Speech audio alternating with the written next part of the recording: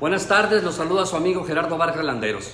Con respecto a los hechos que se han presentado en contra de personal, simpatizantes y voluntarios que han estado apoyando a nuestro proyecto político, primeramente quiero decir que condeno cualquier tipo de violencia alrededor de lo que debería ser una fiesta cívica y al mismo tiempo la interpreto como acto de desesperación de los contrarios al verse perdidos, pero con la violencia no se vale. Condeno principalmente las agresiones físicas y sobre todo el que se hayan atrevido a privar de su libertad a gente inocente. Por lo que exijo a las autoridades que esclarezcan los casos de violencia y que den con los responsables. Y aunque no voy a aventurar conjeturas, sí le digo a todos los actores políticos que la violencia es algo que el pueblo reprueba y repudia. Y que cuando un pueblo está decidido, como sucedió en el 2018, no hay quien lo haga desistir.